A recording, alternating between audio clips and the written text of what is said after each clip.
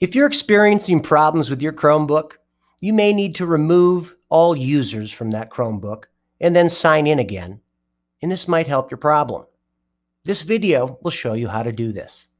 When you first open your Chromebook, you may see a screen like this, or like this, or something similar. Regardless, you are going to perform the same task. We'll use the first example in this video. In the middle of the screen, you will see the last user that used the Chromebook. On the right side of your screen, you see past users that have used this Chromebook. If you have past users that show up on the right side, you will have to repeat this next step for each one of those users to get to the final screen that I will show you.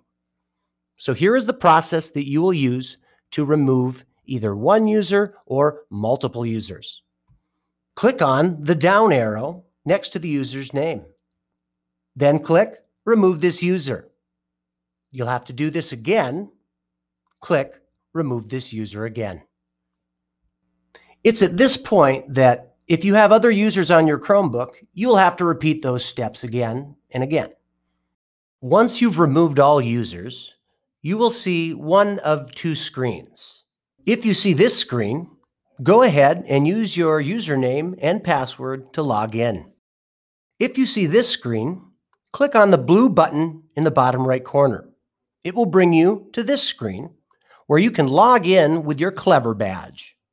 If you don't have your Clever badge, click on the blue button Log In on the right side. This may help your problems. Good luck.